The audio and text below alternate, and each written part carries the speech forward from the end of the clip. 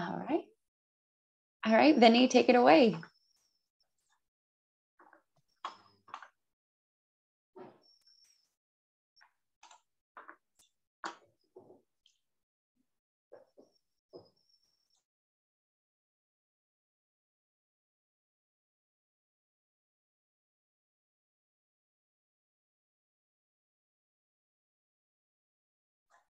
We got the screen. You're just still on mute.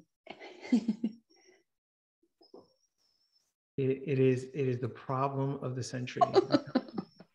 oh, thank you. It's so funny because you responded to the question I asked. Oh, really? yeah, totally. Thank you for saying I was on mute. All right, folks. Well, uh, well, listen. Thank you so much for the for the nice intro, and um, you know, I, I appreciate the invite uh, to speak to you guys. Um, this is actually a topic that I'm like, it's it's it's one of those things that I'm just super interested in, and I think uh, you know CDPs are something that all marketing operations professionals need to keep an eye on. Um, I think they're one of those technologies that could potentially um, uh, become a competitive advantage for you if you jump in early.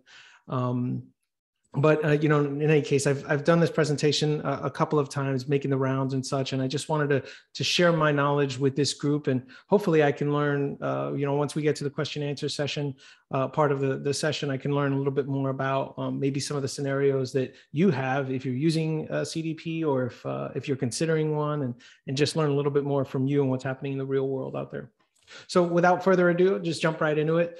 Um, what let's talk about first what a CDP is and what it isn't. Um, and I find it useful first to sort of uh, eliminate all of the things that it's not because CDPs, especially people who work in IT, who do data management work and all that stuff, you start explaining to them what a CDP is, and then they they basically go into their grab bag of of usual tricks and usual technologies. And they're like, oh, well, that sounds like this. Oh, well, that sounds like this. It's not. and here's why. So, so first, MDM. I find that a lot of people confuse CDPs with like a poor man's MDM or master data management solution. Mm-hmm. Um, MDMs are usually IT driven. It can be, you know, data team driven, depending on where that data team is, but they're, they're usually governed uh, and, and driven by IT. They are organization wide. They're not activity based. They're really about maintaining a master record for every contact and every account within an organization. They are supposedly the source of truth in an organization about a particular contact or about a particular account. Okay. So MDM is more of a master data system, and there are tons of them out there. Um, CDP is not an MDM. Okay. Next, a CDP isn't necessarily a database. So a lot of times, you know, I'll talk to folks and they're like, "Oh yeah, so that's now going to be another place where marketing data is going to be stored." Right? It's that's that's not how a CDP works, and you'll see why in a second. Um, but the interesting part is some CDPs do require you to have a third party data warehouse to store the information that comes into a CDP so that you can mine it for you know whatever reason whether it be for analytics uh, analysis you know uh, model building um, uh, you know segmentation et cetera. To make that data available to the features within a cdp you have to store it somewhere else uh, in a lot of cases. And so that may be required but uh, it really all depends on you on whether or not the data that is stored because of a CDP becomes another operational database that is accessed for any other reason than just being available to a CDP. Next, a CDP. Okay, I'm, I'm throwing throwing you know some more acronyms at you, right? MDM, Master Data Management. iPaaS, right? That's your uh, that's your integration platform as a service or your integration middleware it's interesting because there are a lot of marketing technology tools that can play the role of middleware and we use them in lots of different ways. And you know as as uh, marketing operations folks we tend to use the tools that are available to us. And so if you do have a cdp uh, there is a tendency to think of it as middleware for passing data from one system to another. That is not its primary purpose and I would like to dissuade you now from thinking about it that way. Although it can be used in that way, that is not its primary purpose. Um, and you shouldn't try to explain its value that way when you're trying to justify getting a CDP into your organization. So, the last thing, a CDP, just like most of the technologies that are in your marketing technology stack, is not a set it and forget it solution. If you're going to get a CDP, you better be willing to put wood behind that arrow. Okay. Marketing data is, is at the very heart of marketing, right? And so this is going to be a, a rich and, um, and, and valuable and actionable set of marketing information within your environment. And because that data is going to be so valuable, it's going to be very, very important that you have someone that is looking after the measurement plan, the strategy of the platform, maintaining it, et cetera, et cetera. There's a lot of other sort of roles, but if this person is wearing multiple hats like every other marketing operations person, you're you're probably not going to get everything you can out of uh, out of your CDP. So now that you know what a CDP is not, let's talk about what it actually is. So a CDP, CDP stands for Customer Data Platform, which again, in my opinion, this is all opinion, it's yucky. That is yucky. That is a terrible, terrible name for this. I actually like to call it the marketing data platform. Okay, the marketing data platform. And the reason why I like to think about it that way, hopefully, hopefully, hopefully all of you kind of get this analogy because it's it's sort of centered on Marketo itself. So you know how in Marketo, whenever you go to do anything, you can trigger, you know, campaigns and emails and all this other stuff. You can trigger based on activities that people do, programs they're a part of, attributes in their lead record, et cetera, et cetera, et cetera, right? all of the information that's available in Marketo is essentially available to you as a way to tr- trigger things to happen or filter people to participate in a, in a particular group or campaign. Okay.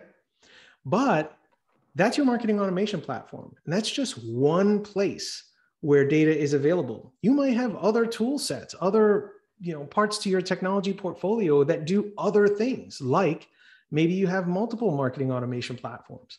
Maybe you have Iterable and Marketo.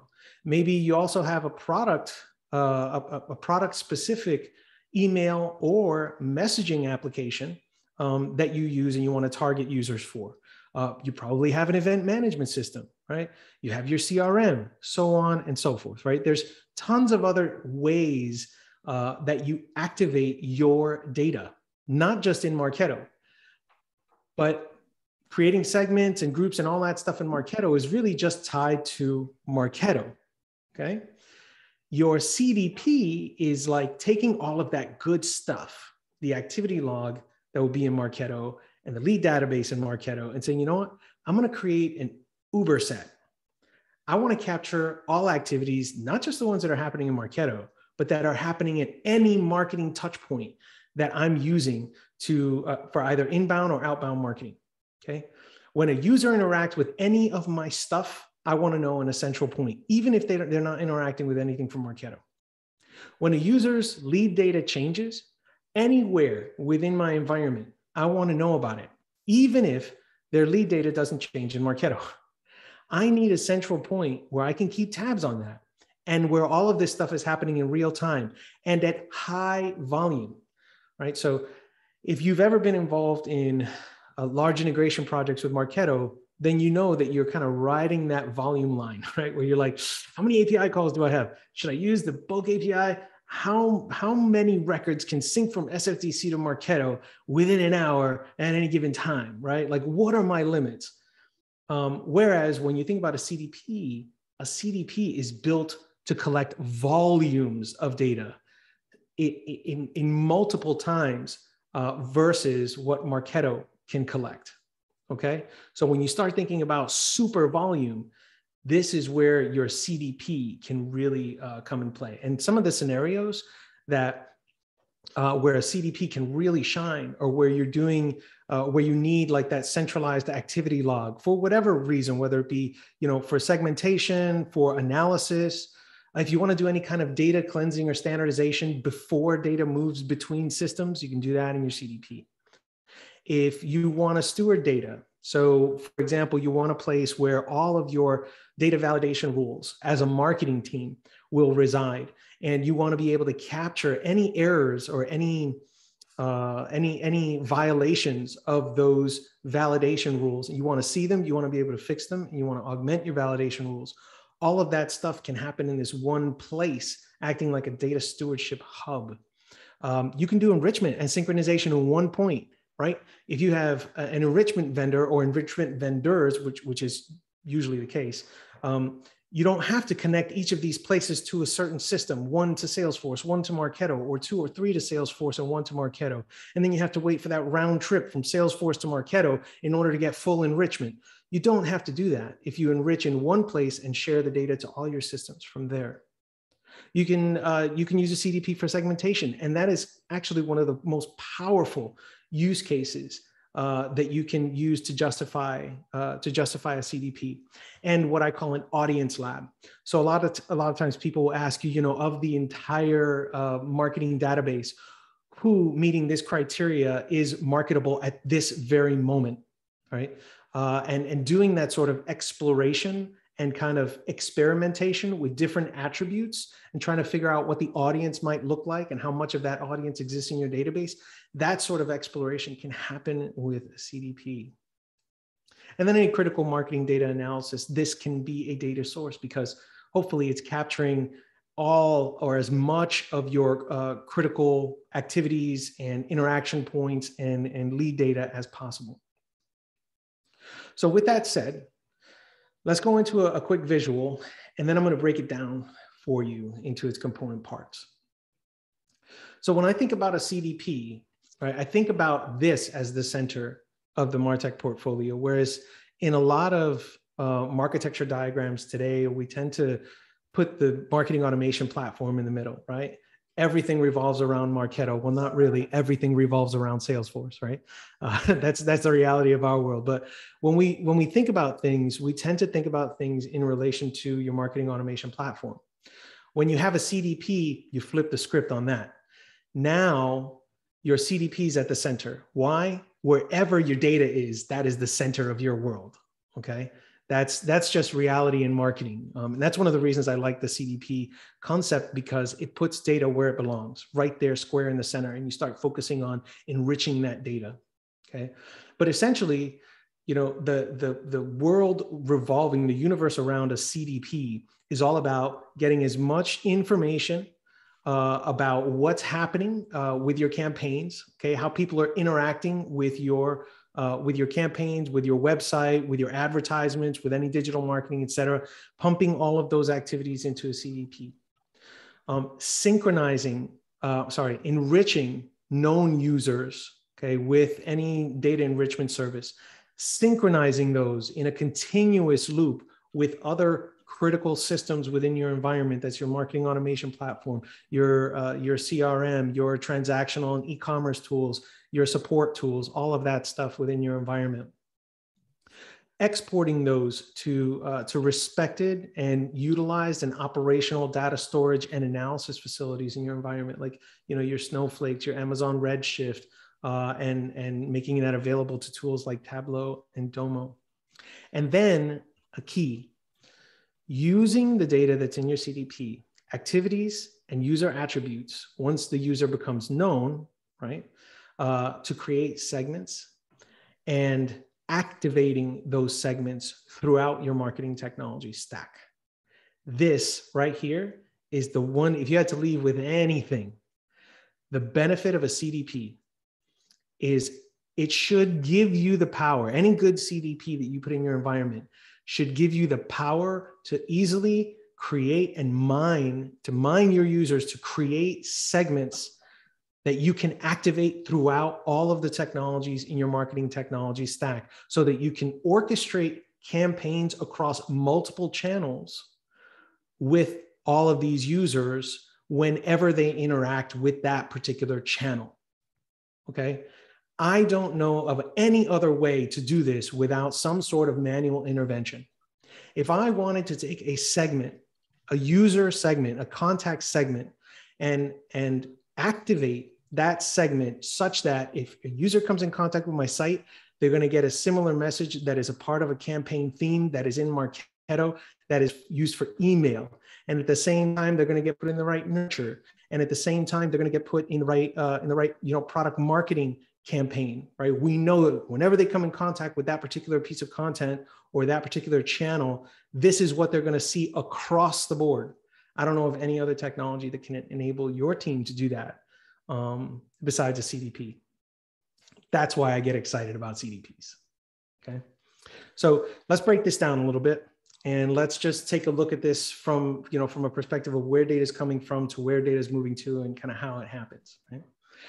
So similar to, you know, if you're familiar with how Munchkin works, right? Munchkin is on your website and, um, and when users come to your website for the first time, Marketo can track them as an anonymous user. Right? It doesn't really know who they are, but it knows they're somebody, right? And it gives them a, an identification number. That goes into the Marketo, you know, anonymous activity data database. Okay, um, let's just call it that. Um, and you know, the user with that same Munchkin ID continues to build up anonymous activities, but at some point they're going to fill out a form and become known. It's the same process with a CDP right? It's a, it's a, it's a very similar process. But with a CDP, a CDP can connect up to multiple front end technologies, including your website, but beyond, right? There's CDPs that can connect up to your, you know, digital adware and, and, and all that jazz, right? Where people are interacting and it can capture clicks on those ads and conversions to your websites and, uh, and interactions with your product if you happen to sell a SaaS product. When the user becomes known, the CDP will know too, right? So you can use identity events um, on forms, on you know product registrations or whatnot, to then convert that number and assign it a user. Now that you know who they are, it's the very same process that happens with Marketo. When a user uh, converts on a form, the Munchkin ID that's stored on their device is now associated with their record, and all of their anonymous activity now becomes known very similar process in the CDP. Right. So the CDP gets all that good information, all those good interactions or activities, and the user's record, the contact record starts building up for that person. By the way, at the same time that the CDP is gathering this information, it can also be sharing this information to systems that can actually receive that type of anonymous data. Next, once the data is in the CDP, you know, maybe you can identify uh, an account based on IP address. Maybe there's some other information that is being captured by the CD, CDP that allows you to reach out to these third-party data enrichment services as part of the CDP configuration. You can actually configure when data comes in, I'm going to manipulate it this way. I can transform it. There are specific rules you can set up to standardize the data no matter where it's coming from. And you can also do supersede type things. So I could say, look, if data comes in from this one vendor, uh, then stop enriching because that one vendor is my top vendor. But if not, fall back to this one and grab this information, but don't put it there, put it in this other field and mark the record this way, right? So you can do some pretty gnarly stuff um, with, with a CDP when data comes into your system and when you process it. And then clearly enrich data in, in all of these places. One of the nice things about enriching data in a single place is that you know you, you don't necessarily have to enrich if the, if all of these enrichment sources have similar data you don't have to enrich in one field right you can enrich multiple fields one dedicated to each vendor or multiples dedicated to each vendor and then you can do your analysis on what kind of completeness and quality you're getting from each vendor you can't do that sort of analysis if your data is being enriched everywhere. There's far too many touch points and the analysis is inaccurate. So when the data comes into a CDP, if you're enriching at that point, you write out to your database, that is probably the most accurate uh, um, export of data that you're going to get to do a, a nice comprehensive analysis on an ongoing basis of the accuracy and the, the validity of the data that's coming from your enrichment vendors. Anyway, you get all that stuff and you send it to your critical systems. You synchronize to Salesforce, you synchronize to Marketo, you synchronize to, to your e-commerce systems, you synchronize to your support systems, whatever they may be. Every single system is receiving data in you can you can send it in real time you can send it on a schedule but they're receiving the same information at the same time and whenever a change is made to any of these systems you can also configure that change to come back to your cdp once again run through your process and get synced back to all systems so everything stays in sync okay rather than using salesforce as the master and synchronizing from there to everywhere else but then support changes something on a customer record that doesn't get sync, synced until that night, right? Everything is being updated at the same time. And you can actually do this at scale. You're talking tens of thousands, hundreds of thousands of records in a matter of minutes that are going through here instead of, you know, you're, you're, you being limited to, you know, an, an API, uh, uh, you know, rate limit like from Marketo or something like that, which I know you're probably all familiar with. Okay. So anyway, anytime a user interacts with Salesforce, let's say there, you know, there, there's a new opportunity on that user. That is a new activity that gets tracked inside the CDP. If there's a if that opportunity pertains to a particular service line or product line, that specificity can be captured in the CDP so that you're building an organizational activity log. And these are things that you can use to create your segments or to trigger people to become part of a segment. Okay. And then I talked a little bit about already about uh, the data storage and analysis piece, but again, the key part here is your segmentation. So now you're creating your segments and you're saying, you know what? This is my, um, my mid funnel product nurture, um, uh, you know, campaign, but it's not just in Marketo. I have lots of different touch points for whenever a user comes to my website. I want to keep them in this nurture and I want to keep them on this path. So I have these users in my segment. I'm going to put them in a list in Marketo, right? I'm going to put them in this list or add this attribute so that maybe intercom uh, will, will respond automatically when they uh, use the product or come to my site. Okay. This concept is called data activation. And because it's all done via the segment that the user belongs to, that you've created, um, you know, it's all orchestrated to the same group across all of these channels. Does that make sense? Hope that makes sense to everybody. Because that, in essence, is it, right? When you're considering uh, putting in a CDP, these are the kinds of functions, features, and benefits you're looking for, right? You want to make sure that you can grab as much data from as many anonymous and known sources as possible on the front end. You want to make sure there's as much connectivity as possible to internal uh, critical applications. You want to make sure you can enrich data in a single place.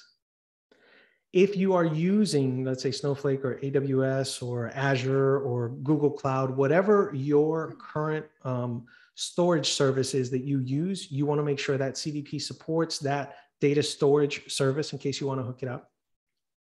You want to make sure that CDP has segmentation power and an easy way to activate segments, right? The last thing you want to be doing is exporting a list of people and then uploading them manually into all of your systems, right? That's there's, there's no value in that. All right. But those are the things that you you absolutely want to look for. Beyond that, you're talking about, you know, you're talking the technical limitations, right? How many uh, how many activities can this thing ingest in real time at any given time? every 20 seconds, every minute, because you're gonna you're probably gonna end up throwing a lot of stuff at it, right? How does it standardize data and what facilities does it have to enable you to standardize data before activating it in your downstream systems? Those are the kind of, you know, those are the kinds of features that you're looking for when putting in a CDP. Um, the the last thing that I typically get asked is like, okay, well, what what are the CDPs that I should look for, right? Everybody claims that they're a CDP, and uh, you know, sometimes you can d- use marketing magic and call yourself a CDP when you're just a glorified Google sheet. that's not the case. I'm just kidding. But um, my my favorite one at the moment, and the one that's climbing the charts in the in, in the uh, you name it magic quadrants um, is uh, is segment. Segment is I, I try to remove them from the center of this because I use this so often, uh, but segment is great because it's a it's a it's a tool that is um, accessible to marketers. I, I believe that it's built for marketers. Um, it's got a lot of facilities that you know you can you can dig into. It supports um, it supports the marketing automation platforms that marketing operations teams are familiar with, um, and a lot of the uh, a lot of the the connections, consumers, and um, and data storage locations that are part of your marketing technology stacks. And above all, it makes this stuff easy. Um, there's others out there. Uh, Informatica uh, has a has a CDP. Adobe has a CDP. Segment has a CDP. Um, one thing that I that I uh, I put out there for you to think about as well is I I tend not to, my personal opinion, my personal bias is I don't like buying everything from one place. Um, it makes my switching costs very high. Um, and, and it just kind of pigeonholes me, right, into specific solutions. And so I'm a big proponent of, of uh, trying to not put too many eggs in one basket, you know? And so if I have, you know, a, a Adobe Engage, Marketo Engage, you know, I might get Bizible from them because that's, you know, that's super tight with, um, with, with Engage, but uh, I'm, I'm, probably not going to get my CDP from them, for example, right? I, I might want to separate that out. Or if I don't have Adobe Engage and I have, you know, an iterable and I have a really, um, and I have, uh, you know, a good IT team that works very closely with me and is going to be willing to do some of the customization that's required for Adobe CDP, maybe that's the route to go, right? But most importantly uh, in your choice, I think, is democratization. How democratized, how decentralized is your marketing operations function? How much power do your internal clients, internal customers have? How much do you want to give to them? Because if it's you know, I, I, they are a part of my community. We all have control over the Martech stack. Then you're going to want to have something that has a very good UI and make some of this functionality accessible, while at the same time giving you control, right, over uh, you know authorization to specific features. But if if uh, if you are if you you know you are closer to an enterprise, you have a lot of governance in place you do not have a decentralized or democratized model. It is all a center of excellence type deal then a more uh, you know a more customizable um, and inaccessible tool uh, or platform might give you you know what you're looking for right? Like a informatica or you know a, a oh my goodness it's escaping me. A treasure treasure data right? Uh, cdp might be something that you should consider okay all right, and that is it for me. So, Amanda, you want to mm-hmm. want to open it up for discussion? Yeah, absolutely.